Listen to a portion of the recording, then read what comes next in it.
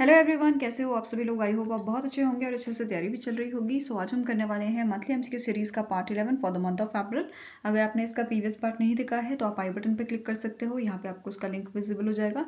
And इस lecture की जो पीडीएफ है वो आपको हमारे टेलीग्राम चैनल पर मिल जाएगी। जिसका जिसका लिंक भी डिस्क्रिप्शन बॉक्स में हमें दिया हुआ है ठीक है?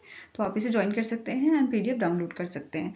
तो चलिए जल्दी से स्टार्ट करेंगे आज का लेक्चर सो so, पहला क्वेश्चन आपका है recently in April a team of archaeologist discovered a unique iron age megalithic site in which state तो कौन सा स्टेट में ये साइट्स जो हैं वो फाइंड आउट की गई हैं? तो आंसर आपका हो जाएगा it is found in the Telangana state ठीक है? Answer is option number B अब जो यहाँ पे टीम थी आर्कोलॉजिस्ट की इन्होंने डिस्कवर किया है unique iron age megalithic site at the Oragutta near the Bandala village of S S Tadvai Tadvai mandal and Mulugu district of Telangana, ठीक है?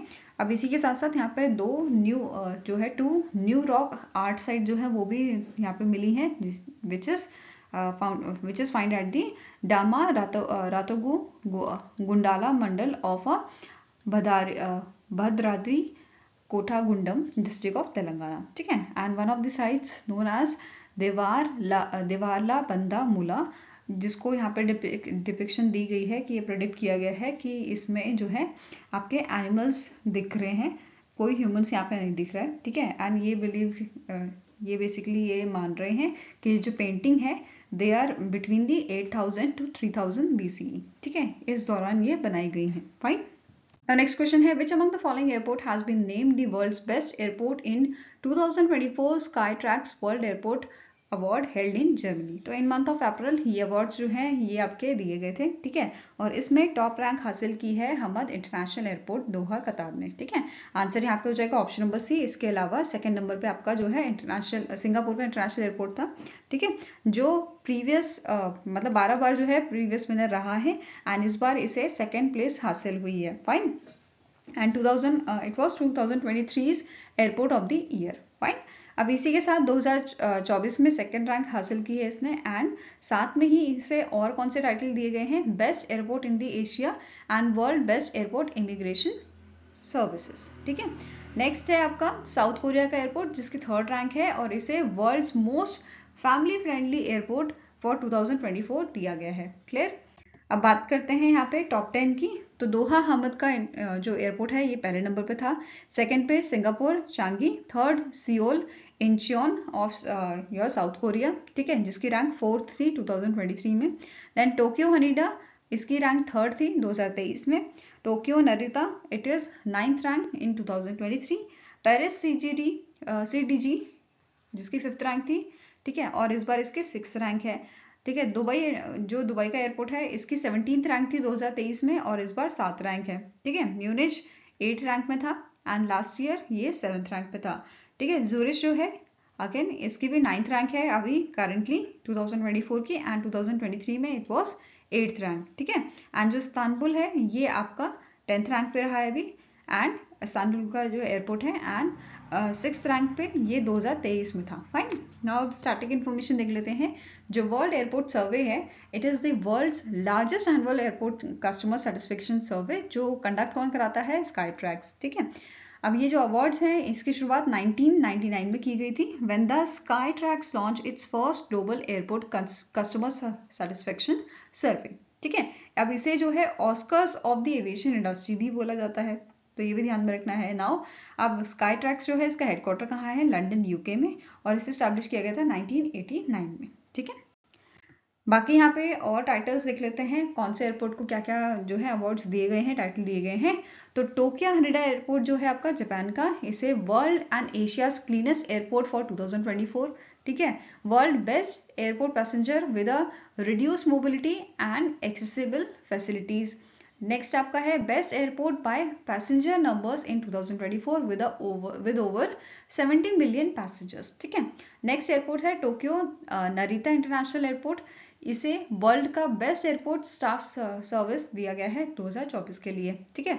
New Chitose international airport, world most improved airport in 2024 then Chubu Centrair international airport, world's best regional airport for the tenth consecutive year, और ये सारे आपके Japan के airports हैं, ठीक है? ना अब बात करते हैं हमद इंटरनेशनल एयरपोर्ट की, जो कतार का है इसे world's best airport shopping for second consecutive time दिया गया है, ठीक है? Best airport in the Middle East ये टेंथ टाइम मिला है इसे। Then Rome then Rome Fiumicino airport जो इटली का है, ठीक है? इसे world's best airport security processing के लिए दिया गया है। Then Paris Charles de Gaulle airport of France इसे world best low cost terminal and best airport in Europe for the second successive year मिला है। ठीक है? Then Cape Town airport of South Africa and South Africa एक और आपका airport यहाँ पे इंक्लूड किया गया है which is Durban King Shaka ठीक है? ये दोनों एयरपोर्ट हैं। अब जो केप टाउन वाला एयरपोर्ट है, इसे best airport in Africa and best airport staff service Africa के लिए दिया गया है। ठीक है? दिया गया है। देन आपका जो दुर्बन किंग शाखा एयरपोर्ट है, इसे बेस्ट रीजनल एयरपोर्ट का जो है अवार्ड दिया गया है। ठीक है? इन अफ्रीका नाउ अब इंडिया की बात करें। तो कैपेगोड़ा इंटरनेशनल एयरपोर्ट जो है आपका बेंगलुरु कर्नाटका में, इसे best regional airport India and South Asia के लिए अवार्ड दिया गया है एंड इसकी रैंक ग्लोबली है फिफ्टी ठीक है? Last year it was sixty then अब जो केपेगोड़ा इंटरनेशनल एयरपोर्ट का टर्मिनल टू है, इसे जो है सेकेंड पोजिशन मिली है globally as a world best new airport terminal ठीक है? एंड टर्मिनल टू ऑपरेशनल जो हुआ था आपका, ये 2023 से ऑपरेशनल हुआ था, ठीक है? नाउ अब इस टर्मिनल को यूनेस्को का Prix Versailles world's most beautiful airport award भी मिला है and leadership in energy and environment design platinum certification भी मिला है, ठीक है? देन दिल्ली इंटरनेशनल एयरपोर्ट की बात करें तो इसकी रैंक थी आपकी thirty six globally and it is emerge as a best airport in India and South Asia then Mumbai international airport ये आपका महाराष्ट्र में है, और इसकी रैंक जो है इस बार कम हुई है earlier it was 84 and now it is 95 ठीक है? हैदराबाद इंटरनेशनल एयरपोर्ट की बात करें तो इसकी रैंक आपकी अच्छी हुई है इंप्रूव हुई है 61 रैंक है। Last year it was 65 rank ठीक है? And it is it was named as a best airport staff service in India and South Asia ठीक है? Then J W Marriott New Delhi Aerocity इसको जो है अवार्ड यहाँ पे मिला है best airport hotel in India and South Asia का। क्लियर है? Now next question here, Dash became the 38th country to sign NASA's uh, Artemis Accord which established a practical set of guidelines for peaceful space exploration and use of outer space. ठीक है तो इसमें जो एट्रमिस है ठीक है एट्रमिस accord इसका 38 member कौन सी कंट्री बनी थी तो इट इज़ स्वीडन ठीक है आंसर यहाँ पे क्या हो जाएगा आपका ऑप्शन नंबर ए ठीक है अब जो ये अग्रीमेंट है ये अग्रीमेंट साइन किया था आपका मैथ्स पर्सन ने जो मिनिस्टर ऑफ़ एजुकेशन है स्वीडन के एंड एरिक डी रामनाथन, जो ambassador of USA to Sweden है, ठीक है? अब बात करें आर्टेमस अकॉर्ड की। आर्टेमस अकॉर्ड जो है, ये आपका जॉइंटली लॉन्च किया गया था नासा और यूएस डिपार्टमेंट ऑफ़ स्टेट द्वारा। कब लॉन्च किया गया था? 2020 में। ठीक है with an aim of advancing bilateral and multilateral space corporation between the signatories ठीक है, जो भी से साइन करेगा, उनके बीच में ये बेसिकली एडवांस करेगा बायलेटरल और मल्टीलेटरल स्पेस कॉर्पोरेशन को। ठीक है नेक्स्ट पॉइंट क्या है? आर्टिमिस अकॉर्ड जो है it was formally sign by the thirteen October 2020 और इसके एट आपके फाउंडिंग मेंबर थे या कंट्रीज़ थी, जैसे ऑस्ट्रेलिया होगा Canada Italy Japan Luxembourg United Arab Emirates then United Kingdom and USA ठीक है? तो ये आपके आठ फाउंडर थे इसके फाउंडिंग मेंबर थे, ठीक है? एंड जो आर्टिमस अकॉर्ड है, ये आपका नॉन बाइंडिंग अग्रीमेंट है, जिसमें कोई फाइनेंशियल कमिटमेंट्स के बारे में नहीं यहाँ पे इंक्लूड किया गया है कुछ भी, ठीक है? Then it let the framework for the implementation of a key obligation from the outer space treaty 1967 ठीक है? इसी के साथ यहाँ पे एक और चीज़ आपको नोट करनी है कि जो एज ऑफ़ सिक्सटीन में ठीक है एज ऑफ़ सिक्सटीन मई 2024 इस अकॉर्ड uh, मिशन में जो एट्रमिस अकॉर्ड है इसमें टोटल 40 कंट्रीज़ जो हैं इसके मेंबर बन चुकी हैं। यहाँ पे आप जो है पूरी लिस्ट इसकी देख सकते हो ठीक है? वीडियो पॉज करके आराम से देख लीजिए आप। नेक्स्ट है name the organisation that has celebrated its silver jubilee 25 years इसने कंप्लीट किए हैं ऑन 19 अप्रैल 2024 ठीक है कौन सी ऑर्गेनाइजेशन है ये? इट इज़ आईआरडीएआई कौन सी ऑर्गेनाइजेशन है? आईआरडीएआई ठीक है? जिसकी शुरुआत आपकी जो है 2000 में की गई थी 19 अप्रैल 2000 में ठीक है? It was formed as a statutory body under the I R the IRDA IRDAI Act 1999 and was incorporated uh, on the 19th April 2000 ठीक है? अब यहाँ पे एक क्वेश्चन आपको पूछा जा सकता है कि जो IRDAI है ये कौन सी कमेटी के रिकमेंडेशन पे बनाई गई थी ठीक है? तो ये आपकी कमेटी थी Malhotra committee it was your Malhotra committee ठीक है? ये ध्यान में रखना है। और इसके हेड कौन थे? इनका नाम है आर एन मल्होत्रा। क्या नाम था? आर एन मल्होत्रा जो फॉर्मर गव, आपके गवर्नर रह चुके थे। फॉर्मर गवर्नर थे आपके आरबीआई के। ठीक है? ये इस कमेटी के चेयरमैन थे जिनके जिन्होंने जो रिपोर्ट सबमिट की थी उस पर बेस्ड आपका जो है आई उसके बाद जो है आई आर डी आई का फॉर्मेशन किया गया था। ठीक है, अब इसके बारे में और डिटेल आपको देखनी है तो आई बटन पे मैंने वीडियो का लिंक ऐड किया है। यहाँ पे आप इसको प्रेस करके वीडियो देख सकते हैं। ठीक है, अब आईआरडीएआई की बात करें स्टार्टिंग इन्फॉर्मेशन की तो इसके चेयरमैन कौन है? करेंटली देवशीष पांडा हेडक्वार्टर इसका लोकेटेड है हैदराबाद तेलंगाना में। ठीक है नेक्स्ट है the IRDAI has remove the age cap on buying the health insurance policies effective from dash तो आई ने यहाँ पे एज कैप रिमूव की है किस चीज़ के लिए? हेल्थ इंश्योरेंस पॉलिसीज़ के लिए। और ये इफ़ेक्ट में आ गया था आपका फ़र्स्ट अप्रैल 2024 से। ठीक है? तो आंसर यहाँ पे क्या हो जाएगा? It is option number A अब यहाँ पे जो है इजीली हेल्थ इंश्योरेंस जो है परचेज किया जा सकेगा। ठीक है? पहले क्या होता था कि यहाँ पे जो इंडिविजुअल्स हैं जिनकी एज 65 ईयर्स है they were restricted from purchasing the new insurance policies ठीक है? तो अब ये चीज़ नहीं रह गई है। फाइन अब की पॉइंट्स देख लेते हैं, जैसे आई ने इंस्ट्रक्ट किया है हेल्थ इंश्योरेंस प्रोवाइडर्स को या कंपनीज़ को कि इंट्रोड्यूस करें tailored policies for specific demographics जैसे सीनियर सिटीजन के लिए स्पेसिफिक जो है पॉलिसीज़ लाई जाए, ठीक है? And establish dedicated channel for handling their claims and grievances ठीक है? नेक्स्ट पॉइंट क्या बोला है? जो आई है, इन्होंने डिक्रीज किया है health insurance waiting period 48 month से ये आपका रिड्यूस कर दिया है 36 मंथ ठीक है? तो इस पे बेस भी क्वेश्चन बन सकता है। देन नेक्स्ट है I has stated that all pre-existing conditions should be covered after 36 month regardless of uh, whether the policy holder disclose them initially or not ठीक है? तो यहाँ पे आई ने क्या बोला है? प्रोविडेट किया है हेल्थ इंश्योरेंस को ठीक है? इंश्योरेंस को from rejecting the claims and based which are based on the pre existing health conditions after 36 month ठीक है? नेक्स्ट पॉइंट क्या बोल रहा है insurance companies can offer only benefit based policies which offering fixed cost upon the occurrence of a covered diseases they are barred from introducing the indemnity based health insurance policies which compensate for hospital expenses ठीक है Now next है, recently in april, the npci Bharat bill pay limited that is N B B L in association with dash कौन से bank के साथ basically इनका जो है कोलाब्रेशन हुआ है?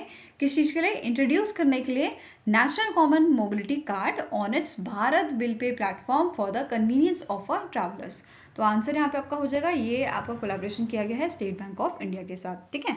Answer is option number B now अब यहाँ पे इस कोलाब्रेशन के थ्रू जो बेसिकली जो अग्रीमेंट साइन हुआ है, इसके थ्रू आप जो है N C M C recharge जो है वो भी कर सकते हो ऑन भारत बिल पे ठीक है?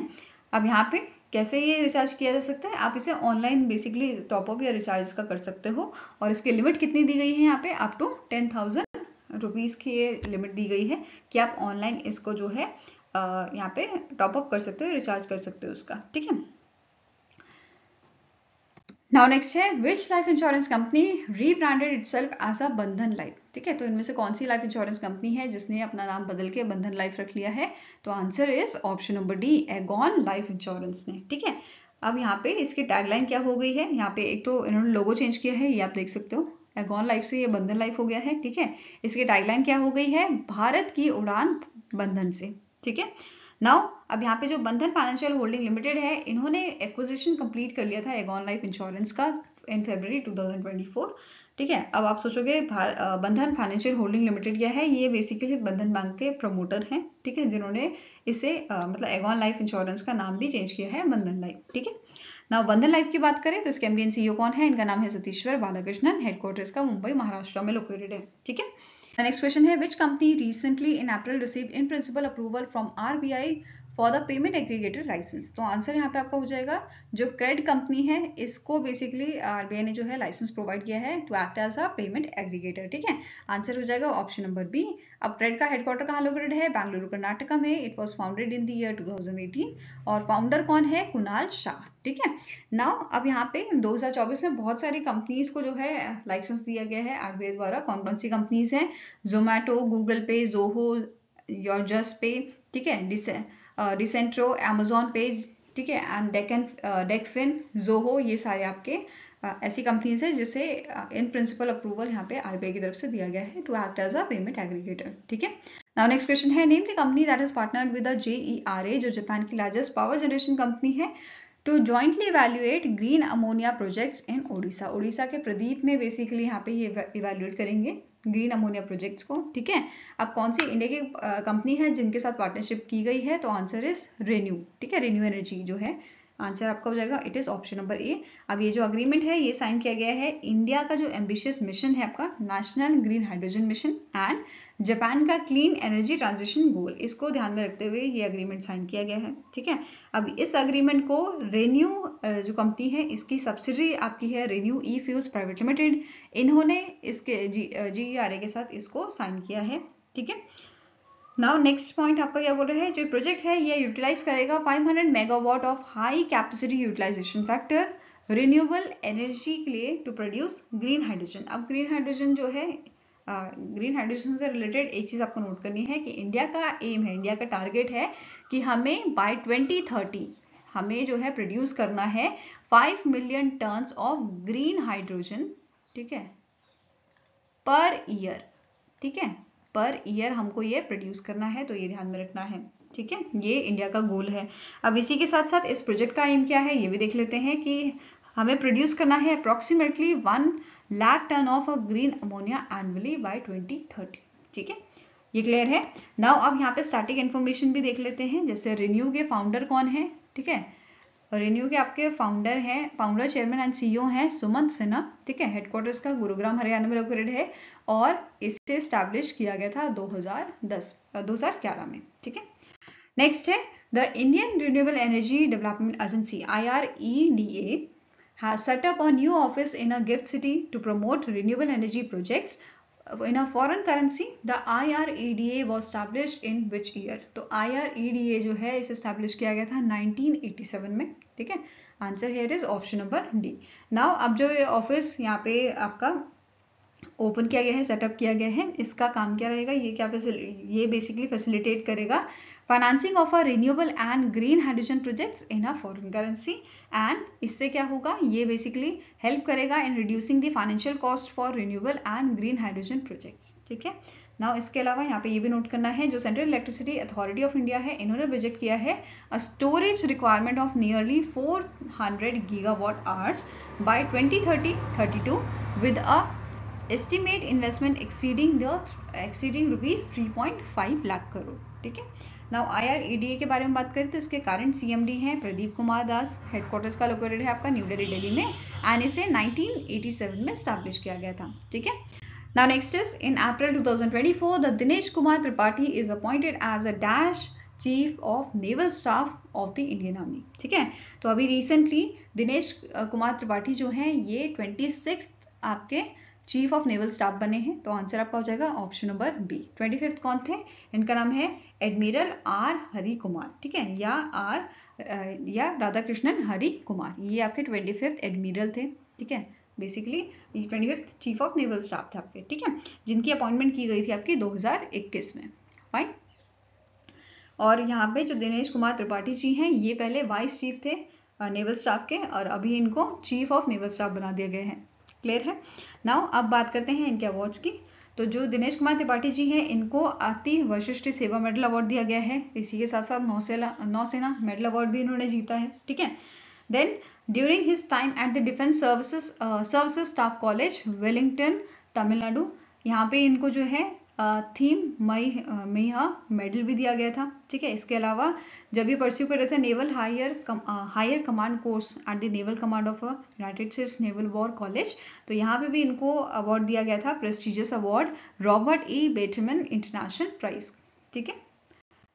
नेक्स्ट है the appointment committee of cabinet has approve the appointment of a dash as a director general of a national security guard तो एनएसजी के डायरेक्टर जनरल किन्हें अपॉइंट किया गया है? इनका नाम है नलिन प्रभात, ठीक है? और इन्होंने रिप्लेस किसे किया है? दलजीत सिंह चौधरी को इन्होंने रिप्लेस किया है, ठीक है? जो बेसिकली जिनके पास एडिशनल चार्ज था डायरेक्टर जनरल ऑफ़ एनएसजी का, ठीक है? जिसे जिन्हें जो है 2024 में, फरवरी 2024 में अपॉइंट किया गया था। अब इसके साथ साथ आपको नोट करना है, दलजीत सिंह चौधरी जो हैं, इनके पास करेंटली ये सर्व कर रहे हैं डायरेक्टर जनरल सशस्त्र सीमा बल के। ठीक है? अब यहाँ पे अपॉइंटमेंट कमेटी ऑफ़ कैबिनेट जो है, इन्होंने एक और अपॉइंटमेंट यहाँ पे किया था। ठीक है? सपना तिवारी जी का, जो स्पेशल डायरेक्टर बनाई गई है इंटेलिजेंस ब्यूरो की। फाइन नाउ स्टार्टिंग इन्फॉर्मेशन देखें तो एनएसजी जो है इस, इसकी शुरुआत की गई थी 22 सितंबर 1986 को और इसका हेडक्वार्टर आपका न्यू दिल्ली दिल्ली में लोकेटेड है। ठीक है वहीं पे इंटेलिजेंस ब्यूरो की बात करें तो इसके डायरेक्टर कौन है? इनका नाम है तपन डेका। हेडक्वार्टर है न्यू दिल्ली दिल्ली में and it was form in the year in the year 1887 ठीक है Next है, recently in April, the RBI has approved the appointment of Ajit Kumar KK as a MD and CEO of which bank for three year ठीक है? तो अजीत कुमार केके जो हैं, इनको MD and CEO बनाया गया है तीन साल के लिए फॉर द धन लक्ष्मी बैंक ठीक है? Answer is option number C और ये जो है currently chief human resource officer हैं आपके फेडरल बैंक में। यहाँ पे आप इनकी इमेज देख सकते हो। ठीक है? नाउ अजीत कुमार केके जो है, इन्होंने रिप्लेस किसे किया है? जे के शिवन को। ठीक है? अब हेडक्वार्टर कहाँ है? धनलक्ष्मी बैंक का ये लोकेटेड है थ्रिशरूर केरला में और इसकी शुरुआत की गई थी 1927 में, ठीक है? नाउ नेक्स्ट क्वेश्चन है the IRDAI has appointed Keki M Mistry as a new chairman of dash company तो ये आपके चेयरमैन बनाए गए हैं H D F C life insurance के, ठीक है? Answer here is option number E और इनसे पहले इस पोस्ट पे कौन थे? इनका नाम है दीपक परेख ठीक है? क्या नाम है? दीपक परेख ठीक है? इन्होंने बेसिकली रिजाइन दे दिया था, उसके बाद के के एम मिस्त्री को जो है अपॉइंट किया गया है यहाँ पे, ठीक है? नाउ के के एम मिस्त्री जो है, इनको नॉन एग्जीक्यूटिव डायरेक्टर की पोस्ट पे भी जो है अपॉइंट किया गया है, साथ में ही। जो अपॉइंटमेंट कमेटी है, इन्होंने जो वेंकट वेंकट रमन श्रीनिवासन है, इनको एडिशनल चार्ज दिया है, ठीक है? एडिशनल इंडिपेंडेंट डायरेक्टर बनाया है H D F C life का, और इनका टेन्योर पाँच साल का रहेगा आपका, ठीक है? नाउ स्टैटिक इन्फॉर्मेशन देखें। तो एम डी सीईओ कौन है? H D F C life insurance company के विभा बदलकर हेडक्वार्टर इसका लोकेटेड है मुंबई, महाराष्ट्र में। से 2000 में स्टैब्लिश किया गया था 2000 में। एंड टैगलाइन है, सर, उठा के जियो। ठीक है? नेक्स्ट है in April 2024 India delivered the first batch of BrahMos supersonic cruise missile to which country तो इनमें से कौन सी कंट्री है जिन्हें first batch BrahMos supersonic cruise missile का दिया गया है तो आंसर आपका हो जाएगा इट इज़ फिलीपींस ठीक है? Answer is option number D ना ब्रह्मोस एरोस्पेस जो है, ये जॉइंट वेंचर है डीआरडी का और रशियन फेडरेशन का, ठीक है? जिन्होंने 2022 में, जनवरी 2022 में फिलीपींस के साथ कॉन्ट्रैक्ट साइन किया था। किस चीज़ के लिए? Supply of shore based anti ship missile missile system के लिए, ठीक है? अब यहाँ पे जो ये आपकी मिसाइल्स है, इसे किसने बनाया है, किसने प्रोड्यूस किया है ब्रह्मोस एरोस्पेस प्राइवेट लिमिटेड ने, ठीक है? अब इसी डील के साथ साथ फिलीपींस जो है, जो फ़र्स्ट कंट्री बन जाती है, जिसे बेसिकली ब्रह्मोस मिसाइल इंडिया ने एक्सपोर्ट की हैं, ठीक है? As a part of the horizon two of a revise arm forces modernisation programme ठीक है? अब इसकी स्पीड कितनी है? 2.8 Mach and it is it has a flight range of 290 kilometres ठीक है साथ में ही जो मिसाइल है मिसाइल रेंज इसकी एक्सटेंड की जा सकती है for up to the 450 kilometres ठीक है ये ध्यान में रखना है आपको Now next है which among the following company has received the first batch of indigenous leading edge salt accurators and air bike control module for from DRDO's Aeronautical Development Agency that is ADA for using its uh, using it in a LCA light combat uh, aircraft Tejas M K one A fighter aircraft ठीक है? तो answer आपका हो जाएगा it is कौन सी company है ये? ये आपकी है H A L Hindustan aeronautics limited ठीक है? Answer is option number B अब ए डी ए ने डेवलप किया है इन कंपोनेंट्स को in collaboration with the research centre Imarat in Hyderabad Telangana and central manufacturing technology unit C M T I Bengaluru Karnataka ठीक है? इनके साथ मिलकर इसे डेवलप किया गया है, तैयार किया गया है।